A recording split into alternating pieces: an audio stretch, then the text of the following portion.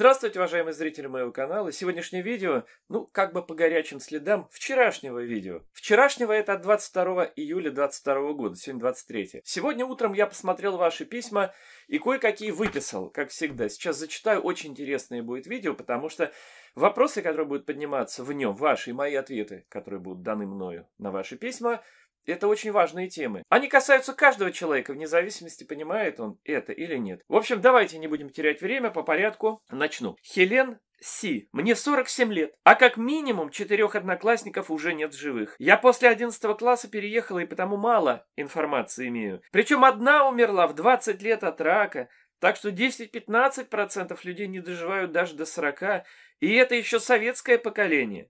А что будет с нашими детьми после тонн чипсов, газированных напитков, ГМО-продуктов, излучения и других факторов.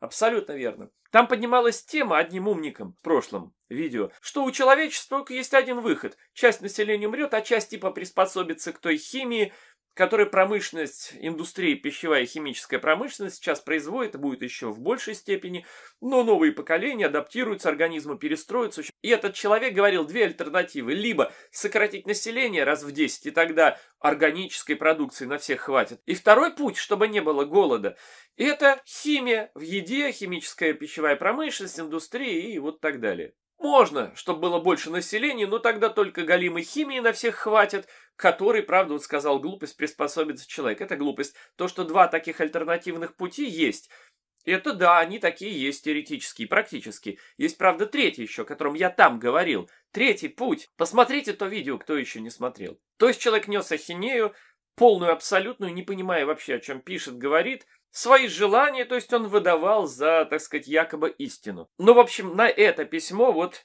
женщина э, написала. Да, это страшная тема. Сейчас в наши дни на человека каждого действуют сотни негативных факторов, которых не было еще 30, 40, тем более 100 лет назад. И поэтому хватит про тех бабушек и дедушек, которые столько-то жили, к вам это уже никакого отношения не имеет. Сейчас нужно принимать кардинальные меры как личного порядка, характера. Это действительно здоровый образ жизни. Изменить питание, изменить другие факторы, на которые мы можем повлиять. Мои видео как раз объясняют, что мы можем на такие-то факторы влиять и как мы можем влиять на них. То есть от нас очень многое зависит. Очень многое. Не все, но очень многое. Так, идем дальше. Надежда Дежурина. Сначала прям зачитаю целиком, потом разберу Пошагово. О каком голоде можно говорить, когда поля на 60-70% заросли и не возделываются? Если бы все обрабатывались по-хозяйски, то этих споров и не надо вести. Пусть каждый человек выбирает сам, кем ему быть, мясоедом или веганом. Я, конечно, за вегетарианство, но проблема не в этом, а в том, что деревни исчезают с лица земли. Вся молодежь подалась в менеджеры, да и охранники, да еще в Москву, Питер, а там полей нет. Теперь давайте пошагово буду отвечать на это письмо, это очень важно. Там много тем поднято в этом маленьком письме. О каком голоде можно говорить, когда поля на 60-70% заросли не возделываются? Надежда. Это у нас в стране. А в других странах мира вы знаете, что есть такие места на планете, где каждый клочок возделывается и все равно не хватает еды? А климатические условия порой создают голод. Там-то речь шла про весь мир в целом. Я не буду сейчас говорить про перераспределение продуктов и прочие сложные вопросы. Говоря о нашей стране, тогда и надо писать. И это правильно абсолютно. Взросло более 70%. Эти вопросы нужно решать. Решают их пока никак практически, слабо. Только там, где сельское хозяйство более прибыльное, на югах. А если мы говорим о русском севере и даже средней полосе, Тверская, Псковская область там – это, конечно, ужас, что происходит. Та же Тверская вымирает страшным образом, хотя раньше и лен, и все что угодно, и все выращивали поколениями, столетиями. Это задача государства, это обязанности государства, это программа по переселению реальная должна быть. В общем, это сложная тема и совершенно отдельного видео.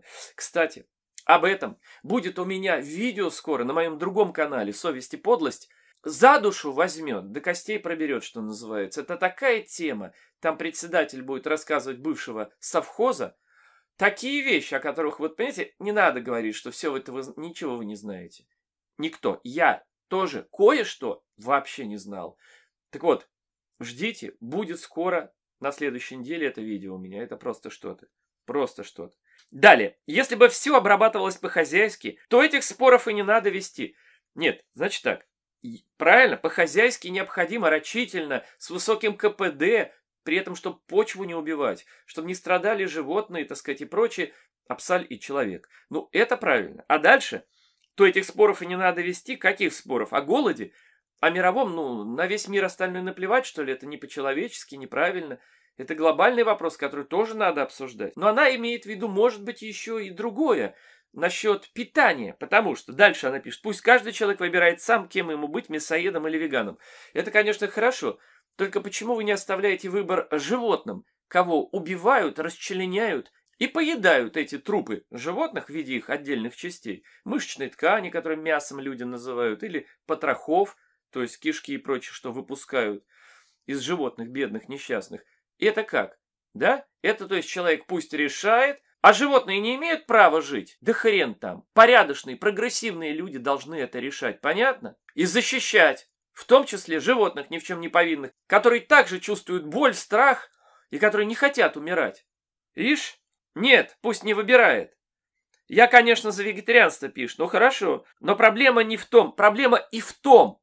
В том тоже проблема. Не надо одной проблемой убирать другую. Или что если есть одна, значит нет другой. Есть. Разные проблемы есть.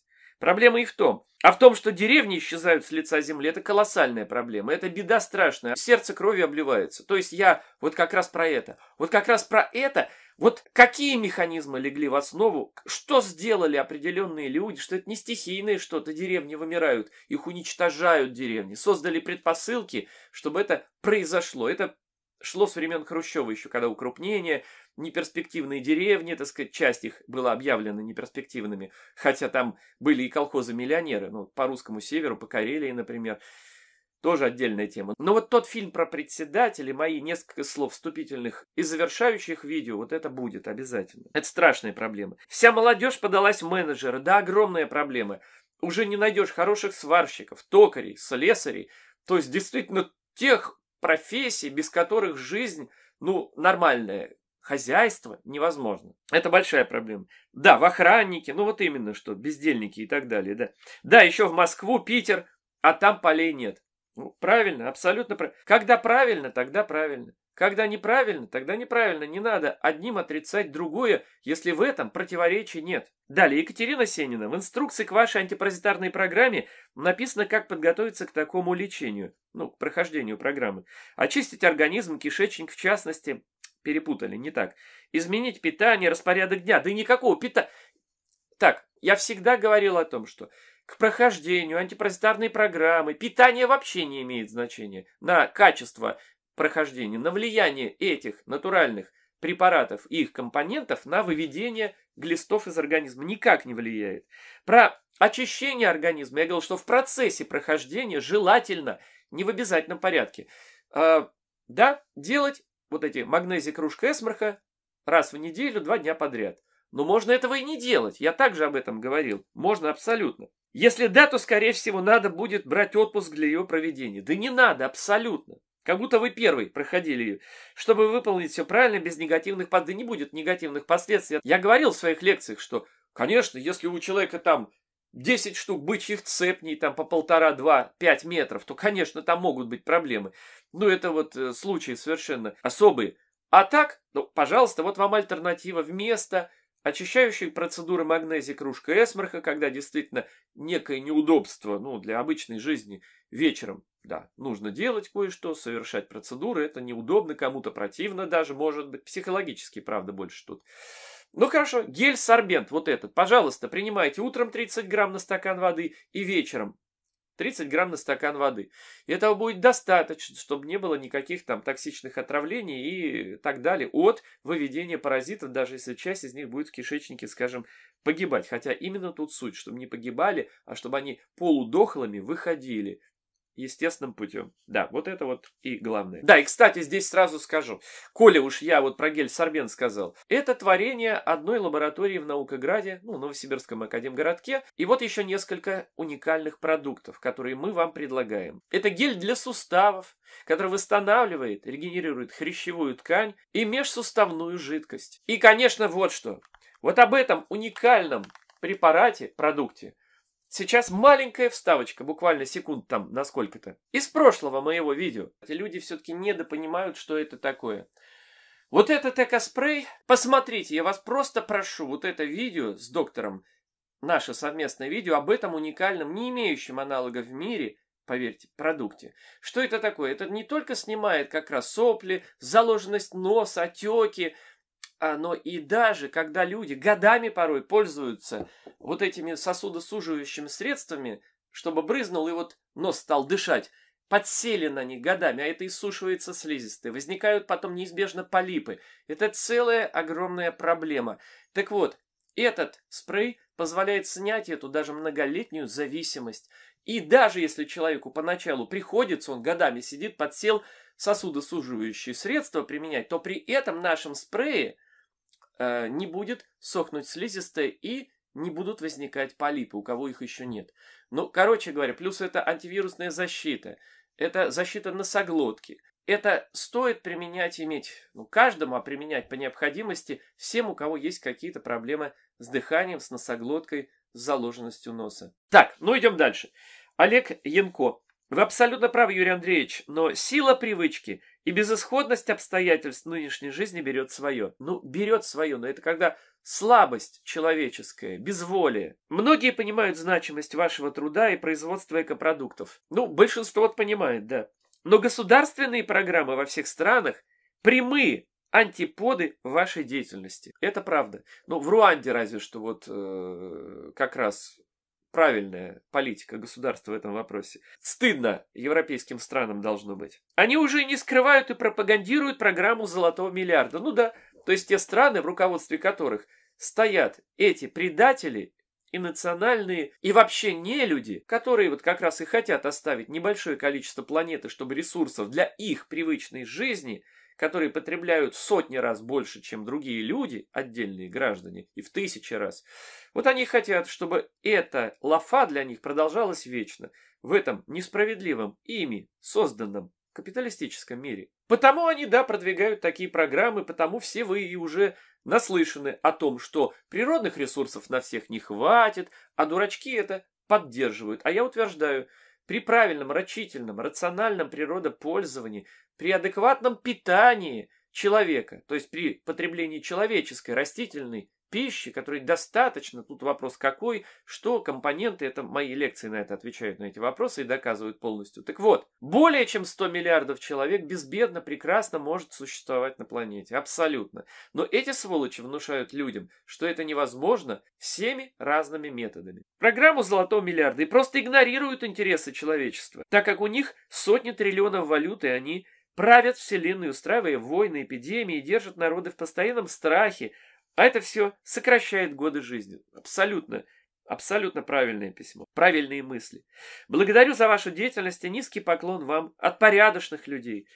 Олег, благодарю вас за такое письмо. Вот, кстати, посмотрите, как пишет человек. Тоже вот касался я в прошлом видео о том, как ныне излагают люди свои мысли о слоге, о манерах и так далее. И вот посмотрите пример да, человека, где как раз и сочетается четкая, ясная суть письма, важные поднятые темы и грамотная манера изложения, где каждая фраза четко ясна. И вот посмотрите на контрасте некую Марину Анирам. Такая Марина Анирам. Огород не? Это она такую претензию мне. Огород не? Вот, кстати, манера и слог. А хлам перестать скупать в виде тряпок и химии. Дамочка, дамочка Марина, вы кому это говорите, а? Вы бы хоть изучили, с кем вы общаетесь. Ну, пишите кому, мне. Не все, так сказать, блогеры, я вообще не блогер, не все блогеры одинаковы. Не судите о других, обо всех людях, как о тех, с кем вы привыкли в вашем кругу общаться. Ну вот это хоть видео посмотрите, что за год было сделано в одном моем хозяйстве, у меня оно в принципе не одно, несколько сильных больших направлений. Но вот на земле, на земле, это говоря про огороды, теплицы развивая тему, зимние сады, овощеводство, восстановление лесов, питомник, восстановление плодородия почвы. И кому вы мне что-то там не некаете, там еще с таким этим... А, лишнее слово трудно написать, правильно, речь поставить грамотно. Кто вы такая? Может быть, вы смотрите это видео, напишите, извинитесь тогда, да? А насчет перестать скупать э, хлам в виде тряпок и химии, ну, и я вот в своих видео призываю перестать покупать химию. Например, вместо мытья посуды, всякой проклятой химии, которая потом травит природа, это миллионы тонн. И я говорю, порошок, горчица с содой. Или там хозяйственное мыло, ладно, там альтернативы есть. Их много, несколько, натуральных, естественных. Так это я первый об этом говорю. Не я ли поднимал вопросы про микропластик в морях и океанах? Про то, что уже в артезианской воде или в растаявших последних натаянных за столетия ледниках находят антибиотики там и так далее, а? Что уже подземные источники даже в Швейцарии есть с этими антибиотиками и так далее. Не я ли? А насчет тряпок, гражданочка? Так вот я вам скажу так, что, например, года три я вообще ничего себе и не покупал. Мне лично по тряпкам ну, практически ничего не надо. Это я вот, кстати, вообще не понимаю в людях действительно вот это шопоголничество в плане тряпок. Уж это точно не культурные ценности, не предметы коллекционирования. Ну да, кроме каких-то историков моды, там это я, ладно, там это вопрос второй. Ну вот, понимаете, а просто так вот, что было в гардеробе тысяча всего. Так это вообще не ко мне, у меня меньше, чем у вас гораздо, я покупаю во много раз меньше, чем вы, говорунья. Так что думайте, как и с кем вы говорите. Кому вы что пишете, кому претензии предъявляете. Кирилл Азаров. Конечно, помогают ваши лекции, Юрий Андреевич. Вы у многих, в том числе и у меня, единственный оплот разума, надежды, справедливости, здоровья вам, терпения, сил в ваших делах. Ну, благодарю от души, прям даже неловко за такие э, высокие оценки, так сказать, и похвалы, но ну, конечно, приятно, но, так сказать, абсолютно, поверьте, никакой от этого гордости или чего-то нет. То есть это я уже такие вещи давно много десятков лет назад пережил и перешел все это. Я отстранен от таких вещей. Ну, просто приятно за уважение. Вот это вот другой вопрос. А так по делам судят. Ну, естественно, по делам. Елена М. Благодарю вас от всей души за такие широкие знания в разных сферах жизни, в литературе, в медицине и в истории. Ну, вписал сюда. Ну, это все из последних Э, видео, причем я вот просто выбрал для контраста. В том числе для того, чтобы показать, как, если свои мысли какие-то, в том числе для того, чтобы показать, как люди выражают мысли. И дело не в том, что нравится это кому-то или нет, например, мне, а в объективности, основанной на фактах изложения, которые основаны на анализе, на услышанном. Объективные оценки, понимаете, а не желания, личные, когда человек протест как бы делает только лишь потому, что у него конфликт вот этот внутренний. Он понимает, с одной стороны, что он не прав, а с другой стороны, ему хочется так жить, хочется так мыслить и говорить. И потому он как бы этим пытается, хочет, заболтать проблему, очернить правду, чтобы ему легче жить в своих глупостях, слабостях, пристрастиях, привычках. Ну вот пример как раз на контрасте такого человека. Человек не корова, он должен есть и мясо, как это было всегда и к чему адаптирован наш организм сотнями тысяч лет эволюции. Ну тут послушный винтик системы и книги истории, где в картинках когда-то художники нарисовали, как первобытные типа люди мамонтов каменными топорами рубят. Молодец. Миллионами, еще бы сказал, лет ели мясо, еще адаптировано. В общем, скажу словами профессора Преображенского. Не нужно судить о вопросах вселенского масштаба с такой же вселенской глупостью. Значит так, мои видео вам, перед тем, как что-то вякать такое, посмотрите. Первое видео. Мясо надо есть с таким ироничным названием, где я все по полочкам рассказываю, объясняю насчет адаптации организма. Кстати, насчет адаптации, мое другое видео. Клыки. Посмотрите это видео. Ну, хотя бы эти два перегружать не буду. Хотя в сотнях видео, так или иначе, я поясняю эти вопросы. У меня очень много вопросов, касаемых естественности, неестественности, потребления так называемого мяса, где я абсолютно полно доказываю, что это, безусловно, не наша, не видовая, не человеческая пища, которая принесет, безусловно, и на 100% человеку, который это ест, рано или поздно, огромные проблемы со здоровьем. А в наши дни, когда сотни других вредных факторов действуют на нас с вами, как не действовали вот на наших предков, то это будет гораздо быстрее. Поэтому болезни сейчас молодеют, поэтому Ирак в том числе, Ирак поэтому в том числе, хотя и другие причины есть, молодеет, и так далее, и так далее. Но это все я объясняю в своих видео и доказываю. А некоторые еще, знаете, как выпендриваются или обижаются, мнение не свое сказали. Не мнение надо говорить, а знание. Надо знать, а не вякать то, что хочется. Вы хотелки свои говорите, а не мнение. Далее, некий Березка. Уж, не, Ну, зовут человека Березка. А пишет человек так. Человек состоит из плоти и крови, поэтому для возобновления клеток ему нужно мясо, и никакая растительная пища его не заменит. Ты, Березка, доказал чем-то и как-то, что растительная пища не заменит мясо? А почему оно должно заменять? А почему мясо, на ваш взгляд, является естественным продуктом, так называемым для человека? Чем именно? Будем повторять заученные от медиков и разных ученых глупости, вроде незаменимые аминокислоты, полноценные белки и прочие мантры? Да вы хоть вникните в вопрос-то. Нет, ваши ответы внутри вас формируют ваше брюхо, ваши порочные пристрастия и желания, вкусно пожрать, привычное вам. Вот и все. Оттуда ваши протесты и вяканье. Но давайте послушаем с точки зрения логики, что человек сказал. Человек состоит из плоти и крови, поэтому для возобновления клеток ему нужно мясо. Давайте я тогда так скажу. Японский тополь, дерево такое, например, да, или метасеквоя, состоит из клеток древесины, целлюлозы и прочих компонентов. Поэтому для возобновления своих клеток ему необходимо есть тополя или метасеквоя. Вы понимаете, что человек сказал? А сейчас поясню для тех, кто не понял. Как любое дерево строит свое тело. Есть процесс фотосинтеза. Это образование органических веществ, то есть в том числе и тело растения, его плодов, из неорганических соединений, которые растение через корневую систему получает из почвы с водой, то есть растворенные в воде минералы, и за счет энергии Солнца. То есть идет вот этот первый сакральный уникальный процесс на нашей планете – это фотосинтез. Когда уже образуются сложные органические соединения, куда включаются эти минералы, и вот эти соединения, органическая биомасса это, и кормит уже всех животных на нашей планете, то есть консументов, то есть потребителей с точки зрения экологии первого, второго и других порядков. Об этом я в своих лекциях, например, про экологию, про эти пищевые сети и цепи, видео, кстати, посмотрите, все объясняю. Кстати, еще в одном очень важном своем видео «Лес и почва», где я объясняю, во-первых, проблему, одну из самых больших в наши дни, это дефицит минералов, и в связи с этим болезни, которые возникают, это вот большая проблема.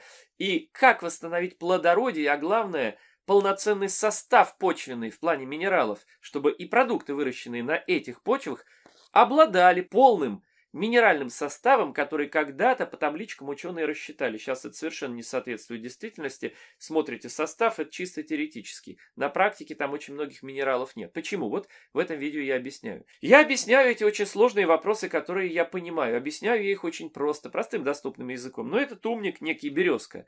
Видимо, умнее меня. Он пытается выпендриться, хотя даже не обладает простым человеческим разумом и рассудком, поскольку логика ему непонятна, не ясна. Так вот, Растение не поедает другие растения, а оно синтезирует те вещества для построения своего тела, необходимые из компонентов более простых, понимаете? Из воды, минералов, из газов, растворенных в воздухе. Вот из чего, ну, благодаря свету запускается этот процесс. Но есть второй процесс.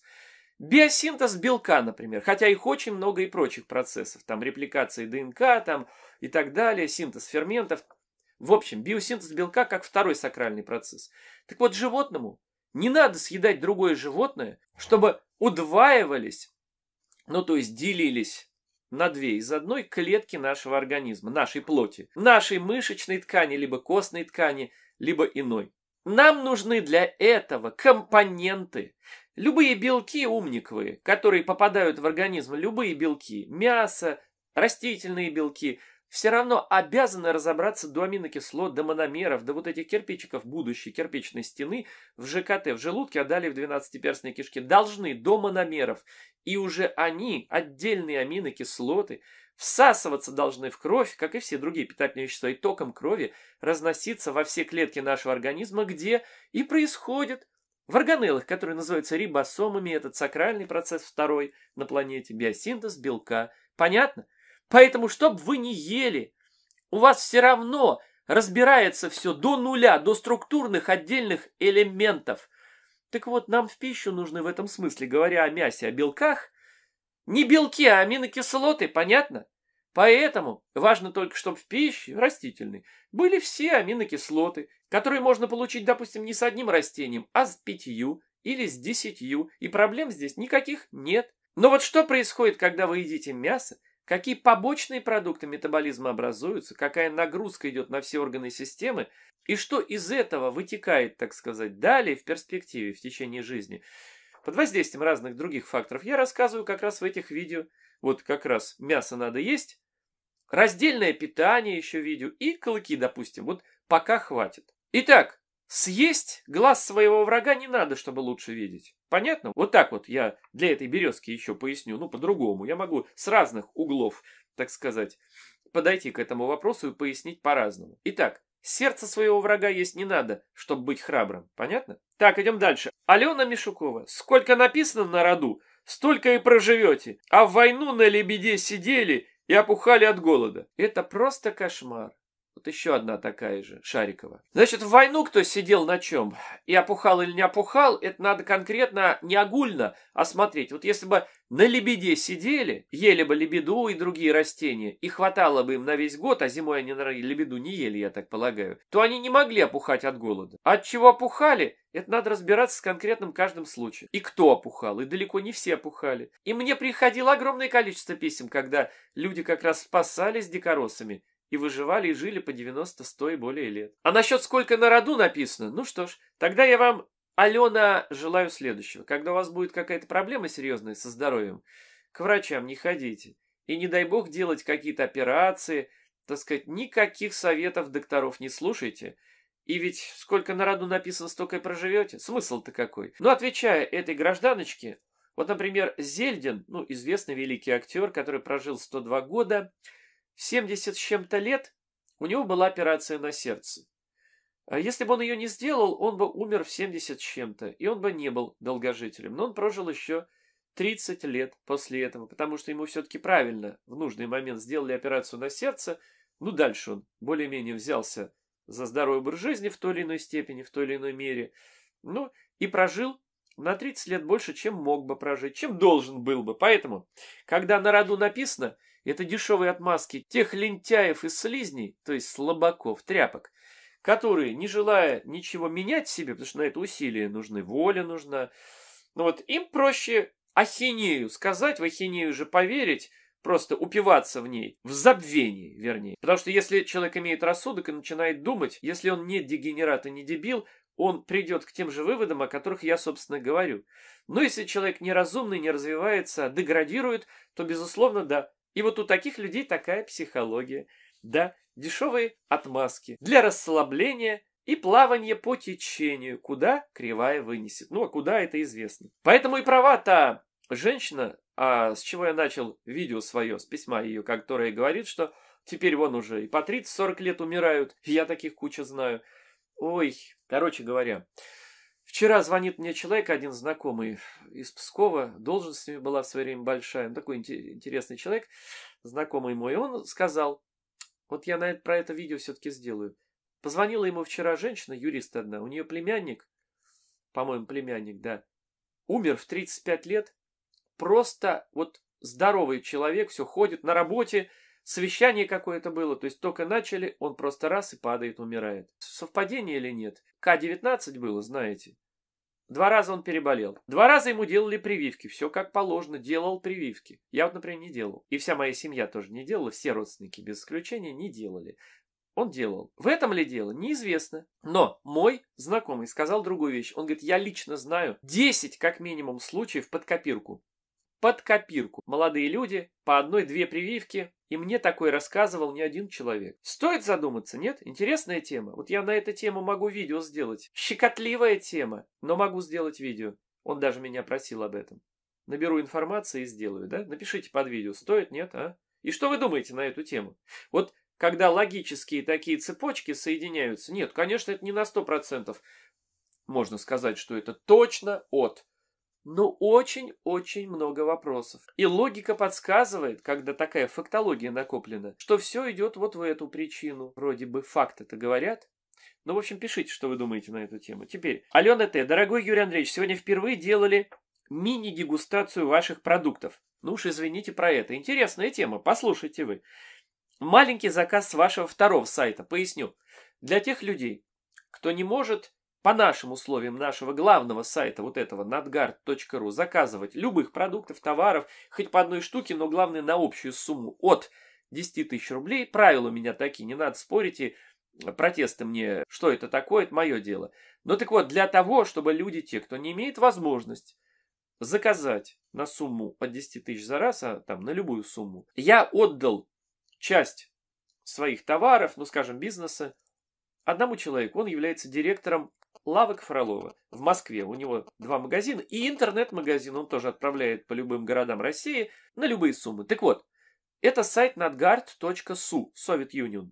Вот этот сайт. Поэтому сразу скажу, если вы можете, заказывайте на нашем главном сайте. Во-первых, и ассортимент больше, гораздо, и отправляем в любые точки не только России, мира, в любые города мира отправляем мы свои товары, ваши заказы, без проблем. Но вот женщина, видимо, не могла или по какой другой причине, она сделала заказ на втором сайте nadgar.su. Восторг не описать словами.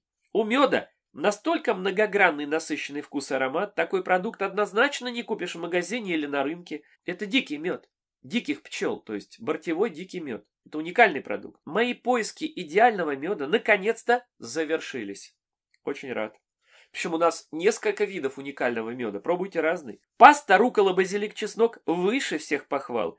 Состав и вкус продукта великолепный. В составе пасты соль сельдерея. И я удивлена, что эта соль настолько соленая по вкусу. Ну, конечно, концентрат, конечно. А уж это самая безопасная соль. Вот абсолютно безвредная. Для меня это плюс. Обязательно закажу эту соль и, конечно же, другие продукты. Теперь, а у нас эта соль есть отдельно. Ну, вот концентрат, соль прям в порошке. То есть, чтобы посыпать и люди могли. Вот эта соль. То есть, не в составе продукта, мы в составе наших сложных продуктов. Например, вот позавчера видео вышло про паштеты наши. Впервые за два с половиной года наконец-то появились они. И уже теперь это будет целая линейка продуктов, да, уникальных. Там сельдереевая тоже соль. А это соль концентрат, то есть соль. Также взяли коту корм. У меня тоже кошки, я кормлю их своими кормами, которые мы создали и производим. Уникальные корма Первые в мире веганские сыроедные с полным составом. Есть уже два поколения на наших кормах, у кого выросло и кошек, и собак. Более того, от наших кормов кто-то начинает, будут такие, будут. Кошки, собаки плотоядные, они хищники, кто ж спорит. Они должны есть мясо. Должны, да не должны. И вот я скажу вам тоже истинный факт, а вы подумайте, что он означает, если это правда, это истинная правда. Что от наших кормов проходят те болезни у кошек и собак, которые не могли вылечить ветеринары. Вот почему, подумайте. А они веганские, сыроедные, с полным, полноценным таурин. Там все, все, что необходимо есть из полностью растительного сырья. Далее. Были сомнения, так как он стал очень привередлив к еде и в последнее время стал отказываться от своего привычного корма. Я советую, дорогие друзья, если вы будете брать, вот я делаю так, я все, вот три вида корма для кошек у нас есть, я все три насыпаю. Когда-то они лучше один едят, другой, там разный состав немного, я так советую. И от других кормов отказывался. Уже перепробовали все премиум бренды из зоомагазинов, пробуя найти замену. Закрывает миску, ест как будто через силу, без аппетита, начал худеть. Каких-то явных признаков болезни со здоровьем у него нет, но как будто что-то ему не хватает. Да, такое часто бывает. Так как даю ему спирулину и хлореллу, и он сначала их ест, потом уже корм немножко. Сегодня дала ему корм вашего производства. Корм пахнет вкусно, и кот его ест.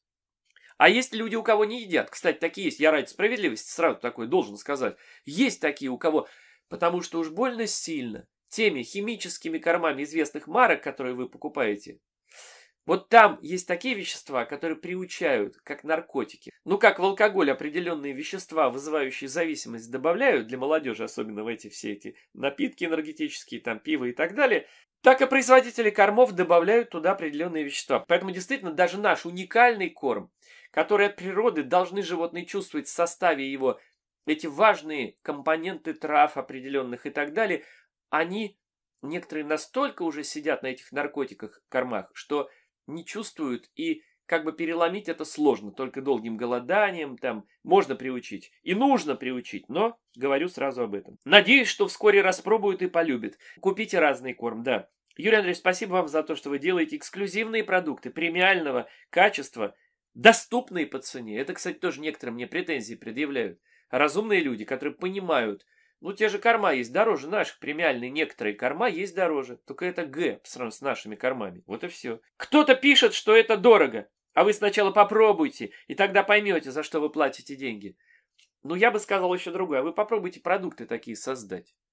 Произвести, говоруны. А потом говорите насчет дорого. Вы не надо сравнивать. Вы тогда кричите, что Мейбахи или там Мерседесы, условно говоря, неважно, какие-то, или даже холодильник вот есть 300-500 тысяч стоит. Вы что, охренели? Надо так, наверное, им предъявлять претензии производить. Вы чего это делаете? Нельзя это производить. Вот понимаете, что вы, такие люди, говорите? Есть разные продукты, разные вещи, разные технологии производства и себестоимость производства. И тут вопрос стоит, либо мы будем это производить по такой цене, продавать, либо мы не будем это делать вообще. Ясно? Какие же есть идиоты? А есть разумные люди, вот такие, как эта женщина, которые просто видят результаты, которые знают жизнь, понимают, что с березы ей ничего не упадет бесплатно, понимает, что такое причинно-следственные связи, что такое сложности производства таких производств. И пишет правильно. В магазинах полки ломятся от отравы, которая стоит куда дороже даже. Кстати, да. Ну, есть дешевая трава, есть дорогая трава. Создать вот полный цикл производства продукции такого уровня – это колоссальные трудозатраты. Материальные, временные, умственные, физические, абсолютно. Два с половиной года получали разрешение на вот эти паштеты. Два с половиной года, потому что они сыроедные, веганские. Это нонсенс пищевой индустрии. Пришлось это доказывать, лабораторно подтверждать, что это срок годности хранится, что там нет консервантов, при этом два года консервы эти легко в тепле будут стоять. Почему?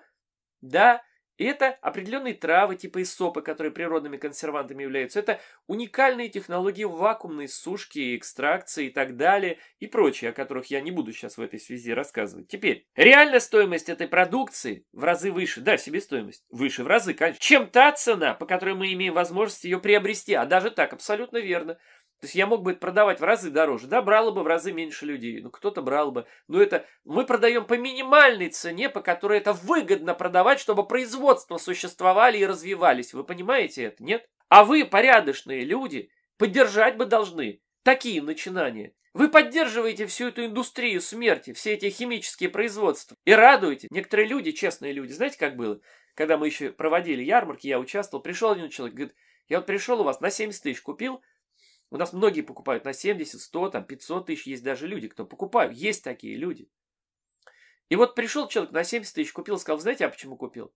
Я хочу поддержать ваши начинания, ваше производство. Вот хороших, порядочных людей, каких сейчас мало в этой, тем более, индустрии. Понимаете? Вот это позиция порядочного человека. Поддержите и вы. Наш сайт nadgar.ru. Покупайте наши продукты, товары, приборы. Те товары, которые вам увеличат срок жизни и качество ее, понимаете? За это, пишет Алена, надо быть благодарным по скриптам. Теперь я ваш постоянный покупатель и буду рекламировать вашу продукцию всем своим знакомым, родным и близким. Еще раз спасибо и всех благ. А я, по-моему, написал Алене, да, я вас благодарю за такой чудесный отзыв от души. Вы понимаете, уважаемые зрители, что вот такое придумать или специально написать нельзя. Кстати, я ненавижу страшно вот эти писанину по заказу. Я никому не позволяю это делать, ну, в плане там вот, когда, например, некоторые смежники, ну, поставщики некоторой продукции, там, знаете, как людей каких-то нанимают, чтобы писали хвалебные отзывы. Я такие вещи сразу вижу, чувствую. Я прям пишу некоторым недавно, прям категорически, чтобы этого не было. Ой, да, мы там это не уследили. Я это, потому что это подлость. Для меня честь и совесть важнее, знаете чего? Не денег проклятых, а жизни. Моей жизни. Совесть, честь важнее жизни. Так должно быть для любого человека, понятно? Это просто нормально. Но это не должно этого быть. И, конечно, меня раздражает и оскорбляет то, когда люди, не имея на то никаких прав и оснований, что-то судят, выпендриваются, учат еще там, и еще там выкрикивают, что это дорого, или там все понятно, реклама. Кстати, для таких у меня есть видео, вот это. Все понятно, реклама. А то, мол, смотрел для, до определенного поры, все нравилось в лекции той или иной моей. А как пошла речь про рекламу, все стало ясно. Ну, дебил ты, коль тебе стало ясно. Ничего тебе ясно не стало. Вот, видео, все понятно, реклама для дебилов. Вот видео для таких. Может быть, мозги на место у кого-то встанут. Вот я ваш постоянный покупатель и буду рекламировать вас. Вашу продукцию всем своим знакомым, родным, близким. Еще раз спасибо. А, вот там был один такой умник в прошлом видео, который написал, что прошлого не существует. Вообще, прошлого не существует. Знаете, Андрей Счастье есть такой, не знаю, был или есть, который вот меня взбесил. У меня было видео, где я прям про это его прошерстил, про его вот этот нигилизм идиотический. Прям один в один, что не существует мнений другие, только свой опыт, а другого не существует. Все, что кто-то пишет и говорит, это все может быть ложью и так далее, поэтому учитывать это ничего не надо. Ну, то есть полнейший нигилизм, такой, который Тургеневу даже и не снился, когда он писал «Отцы и дети» и другие произведения свои. Да, как те нигилисты 19 века были консерваторами, на самом деле, по сравнению с теми, нигилистами некоторыми, которые есть в наши дни. Какое сейчас идет мракобесие и идиотизм отчасти, да? Так вот, он там и что святых нет, ныне живущих никаких. То есть и на основании этого он какие-то выводы делает. Ну, идиот. Ну, там видео в прошлое посмотрите, кто не видел. Так вот, а Наида пишет, прошлого не существует, знак вопроса. Это что за особь такая? Ну, о том индивидууме говоря. Значит, его тоже не существует, потому что он родился в прошлом, 5 баллов. Ну и последнее, пожалуй, Наталья Д. Юрий Андреевич, вопрос интересный есть. Заметила, что не могу спать на матрасе. Сейчас сплю не на матрасе с микросферами, а вообще на матрасе. Сейчас сплю в палатке на коврике. К зиме хочу сделать себе матрас из сена с травами. Очень хороший вариант. Как вы считаете, влияет ли это на здоровье сон на мягких синтетических ма... Еще бы, это вредно. Вот у меня матрас, например, из натурального стопроцентного кокосового волокна. Матрасы в идеале должны быть жесткие. Или, э, вот я в 80-е годы вообще на досках спал, то есть доски э, и вот простыня. Во-первых, это полезно для спины. Это вообще прекрасно. Нет, я понимаю, что это будет трудно, может быть, тем, кто по 200 килограмм весит там или еще, ну, имеет, ладно, болезни специфические. Ну да, там с умом надо подходить. Либо это матрасы действительно, но натуральные, ортопедические, ну, и, или вот с микросферами, ну, тут уже особая тема. Либо это все же натур... Вот, например, прессованная ржаная солома, тюки, ну, как-то это красиво обыграть, там э, просто не можно двойную, тройную, и вот, пожалуйста, так сказать, хороший вариант. И на чем вы спите? Ну, я сказал, я ответил, на чем раньше, сейчас. Благодарю, если вопрос покажется вам интересным, и вы на ответите, да. Пожалуйста. Благодарю, даже если не ответите, ваш труд все равно очень ценен. Ну, понятно. А потом вы не обижайтесь, потому что я не могу на тысячи писем отвечать. Да, я надеюсь, это тоже разумные люди понимают.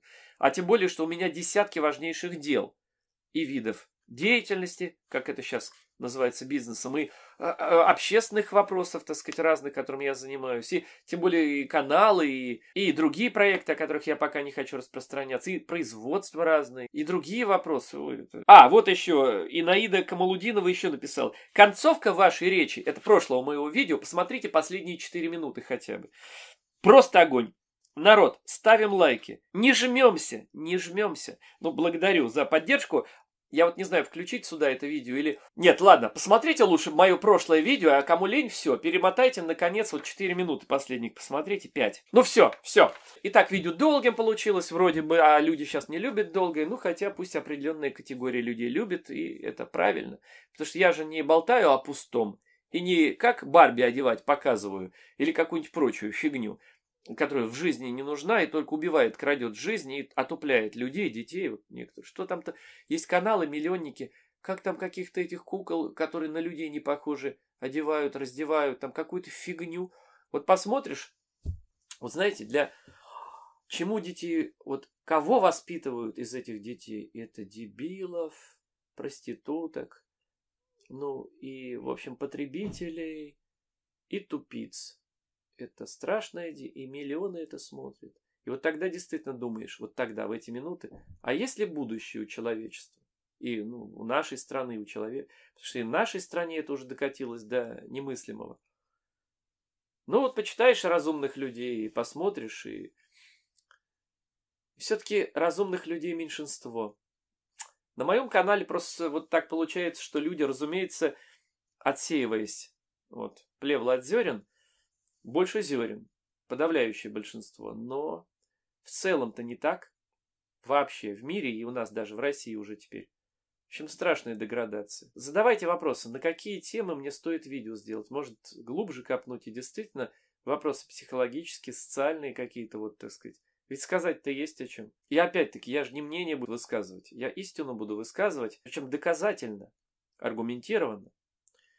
Мнение, еще раз скажу, мне, вот на свои мнения наплевать. Должны у людей быть вообще не мнения, а знания должны быть, основанные на логике, здравом смысле и жизненном опыте. Ну а на этом, пожалуй, все на сегодня. Я желаю всем хорошим, честным, порядочным людям, как всегда, крепкого здоровья, здравомыслия. Помогайте распространять мои видео. Э, это видео тоже отправьте кому-нибудь. Попросите друзей, знакомых посмотреть. Ну все, всего хорошего.